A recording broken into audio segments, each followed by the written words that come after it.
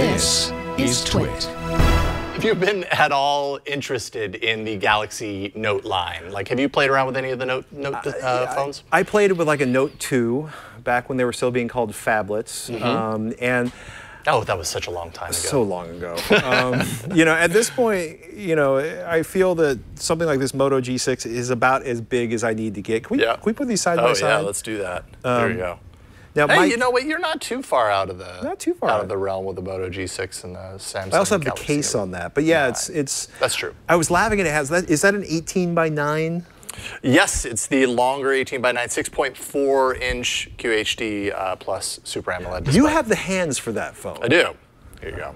Uh, yeah, I mean this this type of phone does not feel too large. I mean it's it's definitely a large format, uh, no doubt about it. But I mean the- for the most part, the- I can I can reach around. Are know, the letters on the web phone pages any bigger, fine. or is the screen just that much more massive?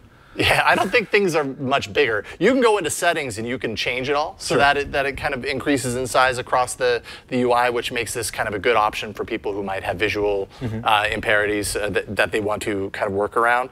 Um, so you can get in there, and that's one of you know Samsung's kind of benefits is they've Right. done so much in the software to give you all this customization capability. If you can find it, it'll be really useful. hey, you know what they've done, and I appreciate it. I'm sure they did this quite a while ago, but now we're starting to see in the settings, we're, we're seeing, and probably have been for a while, a search bar that'll take you right there. So oh, if there's God. a display area, you can just put in display and that- for jump me- right to it. For me, when I, I bounced between like a pure Android phone and I played around with a Samsung phone, my issue was I literally could not find anything on the Samsung because they had s- they had Yeah. crufted up Android so much with all of their awesome utilization tools. That Yep. search bar looks fantastic though.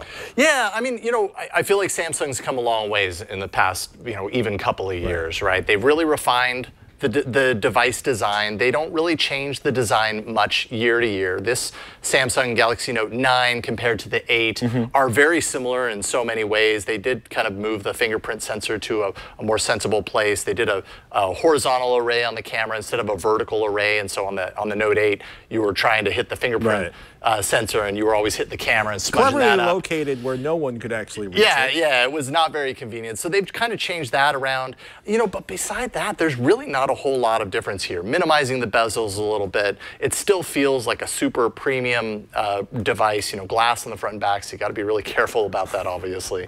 Uh, the S Pen down below, they you know kind of got. Uh, went for splashy color designs, so you know this particular. It's like a uh, pencil. device. Yes, exactly. It comes with a yellow uh, S Pen.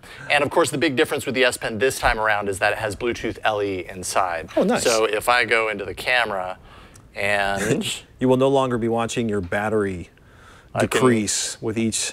I can use the, the uh, S Pen to snap pictures. I can also Oh, wow. use the S Pen to control YouTube. So I think if you're doing like a lean back experience with this display, I don't know how you're watching this display and you're so far away from it that you can't just touch I'm, the screen. I'm but hey. envisioning you on the plane with your Bluetooth headphones on and being like, eh, and then pulling the, leaning forward to pull I don't thing out. Yes. No, me just relaxing, sitting back, relaxing with the S Pen in my hand. See, that's the kind of thing I'm used to from Samsung where they go, you know, we've got to be able to do some random thing with this accessory I to feel justify like, it being there. Yeah, I, f- I feel like the the changes that they made to the S Pen, what they really did is they were trying to get more people to actually use the S Pen. Because when I use the Note, like it's nice to have the S Pen there, but my my first inclination anytime I use a Note phone is not I need to write down a note, so I'm going to pull out the S Pen and do Yeah. it. Like I I I You always, have two thumbs. Uh, Yeah, I always side with the thing that I'm used to, which is going into keep and writing Right. it out, with you know, tapping it out or whatever. If I want to write something that I cannot read, I'll do it on paper, which is much faster than launching the application on the phone. So But hey, it's nice that you can, you know.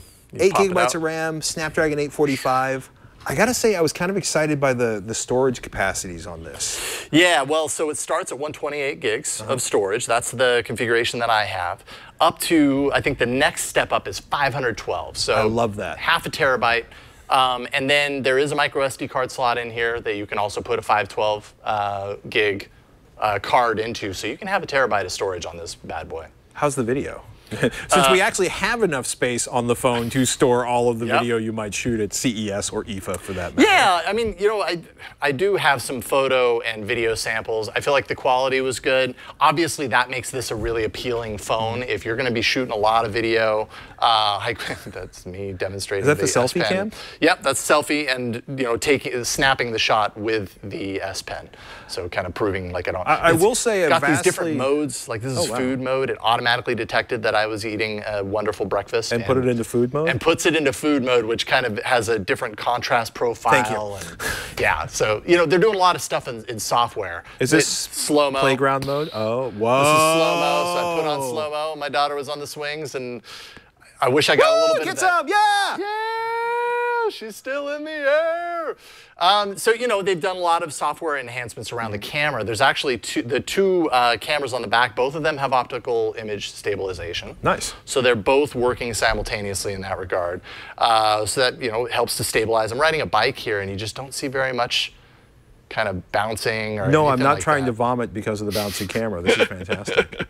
Yeah, exactly. Um, I, you know, ultimately, Samsung's uh, premium phones, their cameras are always really good, um, and they're among the best, and so that's there's really no change here. I will say the thing that would make me consider buying a thousand dollar phone Yep. Over a two hundred fifty dollar phone is the camera quality because the camera on whether you're talking about the iPhone 10 or presumably the iPhone XS or the Samsung Model 9 or the Pixel 3 is there is a huge huge upgrade in camera as you quadruple the price. Absolutely. Yeah. Well, and this is this is the the kind of the awesome part of right now in smartphones is that so many phones now just it's become kind of standard that we get a good camera experience. We get good you know camera Right. output. Uh, we're getting more and more accustomed to that. Oh, that was another uh, slow motion example. But uh, but yeah, this is no different. This is of of the top tier Right. of phones when it comes to camera. So that's something you're paying extra for. You're also getting just very, very uh, powerful internals. You're getting the Snapdragon 845 uh, here in the US, anyways. Exynos 9810 if you're getting the international phone. Eight gigs of RAM. So I mean, stacked. That's about as much as you can ever get in an Android phone right, Right. now. I don't know how necessary it is, but I'd, I'll take it over not. Yeah, I, I feel like it's not necessary, but Yeah. it's necessary to compete in China with all of the regional Right. Chinese brands. Sure, Um, sure. yep. Uh, 4,000 milliamp hour battery. That's actually an upgrade from the Note 8. So you're getting, you know, Samsung apparently learned their lesson on packing um, a lot of battery into the phone, but not having it too compact of, of a of a, uh, design so it doesn't, you know, explode. Yeah, So that was good. I was trying so hard not to bring that up because That's going to dog them for I- years to as- come. Well, it should. When you light cars on fire with your phone, that's a bad thing. What's DeX?